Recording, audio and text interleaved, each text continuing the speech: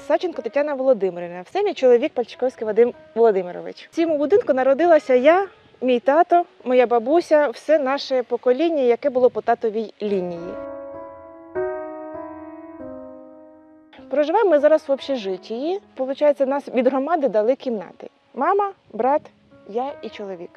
Ну, одна кімната, е, в якій, скажімо так, е, два ліжка, шкаф, ну, такий примітивний столик. Ну, як, жити можна, ну, розвиватися ні. Е, Холодильник, е, о- один на дві сім'ї, е, кухня окремо, санузел окремо, душ прийняти можна, теж все це окремо. Ну, Звична кімнатка по мінімуму, скажімо так. Що потрібно для людей? По мінімуму, що потрібно для життя і для людей. Мама пенсіонер у мене малоподвижна. Вона ходить на ходунках. Ще вона літом в тому році впала, поламала тазобідрену кость, ми її прооперували, вона зараз на ходунках. Плюс вона ще прооперована на серці з двома стентами. І вона після інфаркту, після цього всього, через те, я, я саме більше за неї переживала, щоб з нею нічого не сталося. Після всіх неї інфарктів, мікроінсультів. От. Старшого брата застрелили під час бойових дій, коли було окуповане село. Середній брат залишився, працює водієм, чоловік водій і я медична сестра. Де працювали до повноштабного вторгнення, на даний час там і залишились працювати. Ну, до війни у нас на цій садибі був парник, город, ну, як в усіх людей. Своя куриця, своя утка, собака, кіт. Ну, кому подобається, заводили корову. Ми корови не плануємо. Ми плануємо знову, опять же, курицю, утку, собаку, кота. Відбудувати це, що, це, що згоріло. Ну і жити своєю життю, налажувати життя, йти вперед. Життя воно не стоїть на місці, воно продовжується. Ми повинні жити. Тяжко, не тяжко, ну треба жити.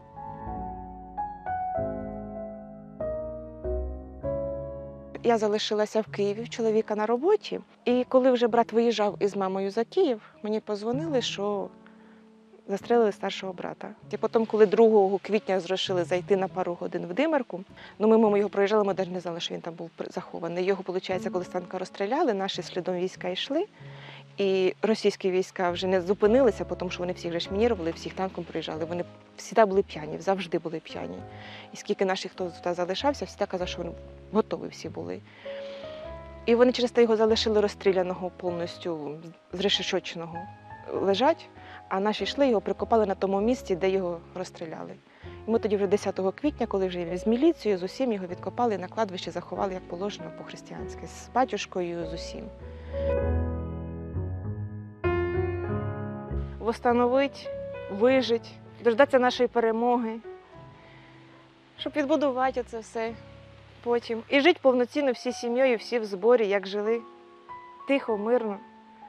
Все хазяйство тримати, як і далі до цього було все. На городі як садили, сіяли, садили, все було все в сталі. Перш за все доказати е, самим собі, що ми це зможемо, і ми це переживемо, що ми сильні.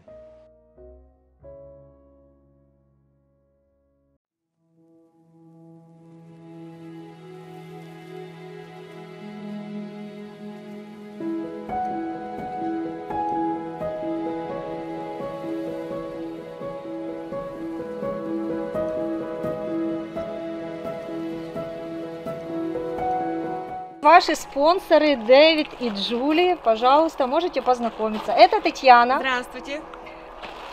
Это моя мама Раиса Григорьевна. Это Добрий мой муж день. Добрий день. Вадим.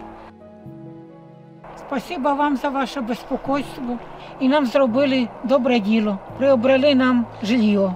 Спасибо, дай Боже вам здоров'я і благополуччя на дальні года.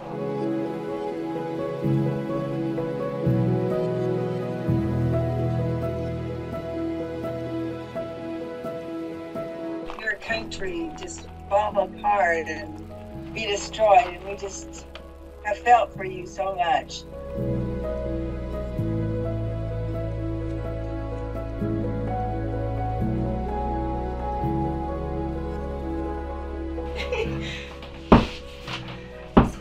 Клас!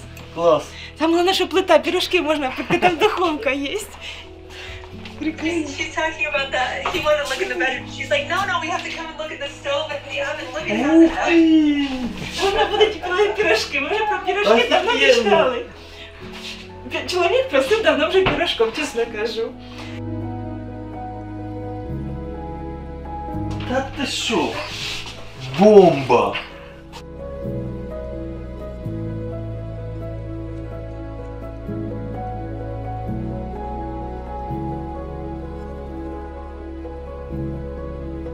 Очень большое, огромное спасибо.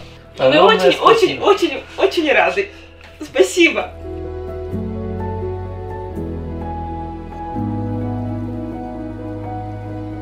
Все очень-очень понравилось. Все гораздо лучше, чем даже мы представляли себе. Все прекрасно, все отлично. Мы об этом даже не могли и мечтать. Украина стала не просто страна, которую мы не знаем, а с вашей семьей уже мы воспринимаем украинец близко к нас, наши сердца, поскольку у нас есть сейчас друзья там, и мы понимаем, что очень важно, что на Украине было покой и счастье, и что война кончится.